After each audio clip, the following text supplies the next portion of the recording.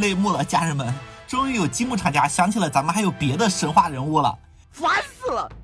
想当初看《封神演义》，就感觉魔家四将每个都非常有特色，又是琵琶，又是伞，还有玩哈基米的，有一种怪异又神秘的感觉。这不，森宝积木把魔家四将做出来了，我好激动啊！不仅造型帅气，每一款都风格各异，组合的手感也是非常棒，刷新了我对森宝的认知。这是可以说的吗？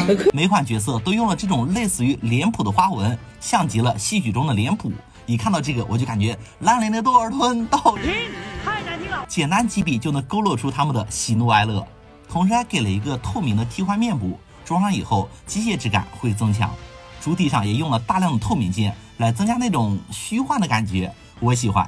虽然说这四个是兄弟，但是森宝这次啊真的没有偷懒啊，并没有用一个素体把四款全部做出来，每一款的素体之间都有区别。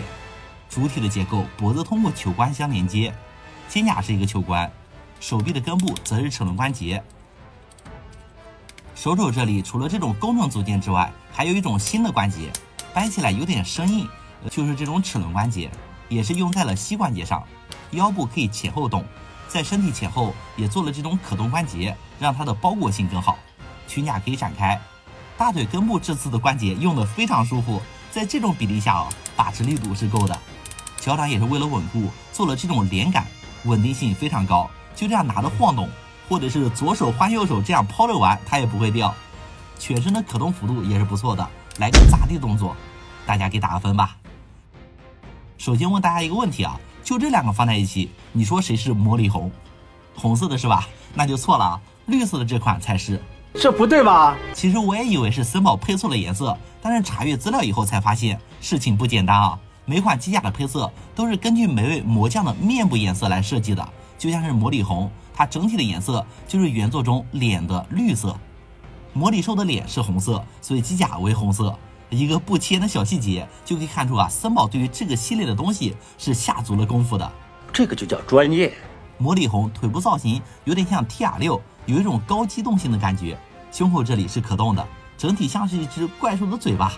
透明的驾驶舱空间比较小，是不能放小人的，只能装入戴亚克隆人仔。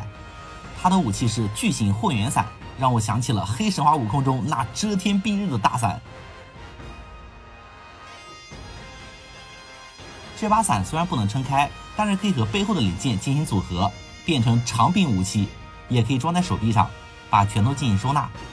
配件拆开，装在手臂上，混元巨伞装入，作为电磁枪使用。接着是魔力青，四款中体型最端正的一个，身体上有很多展开结构，肩甲、胸甲、臂甲都可以展开，像是进入了整备状态。武器是巨型青云剑，平时收纳于背部，剑刃部分为大量的透明材质，剑格这里和主体一样，也可以展开，手指可动，把武器握持在手中。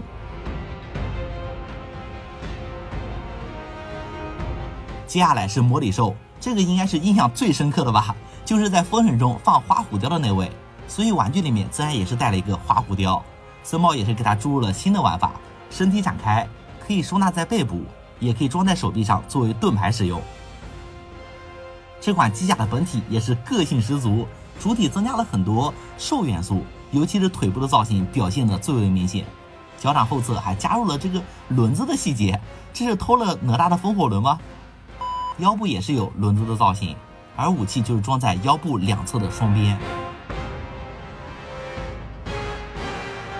最后就是体型方面差异最大的魔力海，牛头人的造型，你说他是牛魔王我都信。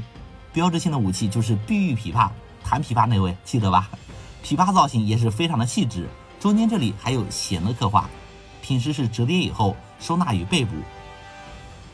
脖子这里有个配件，可以挡住他的嘴巴。像是戴上了面罩，这头部造型就更像是一头牛了。而在此基础之上来个一趴变形，呃，像是个牛，也像是个大猩猩，就当是它的隐藏玩法吧。整体玩下来感觉非常的爽。那作为魔家四将后期的四大天王，所以无论是在牌面还是造型上都非常的帅气。期待荣耀争霸系列能有更多的神话人物登场，比如说雷震子、杨戬。或者是妲己，你那是馋他的身子，你下贱！姜子牙都可以呀。谢谢大家收看本期视频，我是质检员大鹏老师，好朋友们，我们下期视频再见。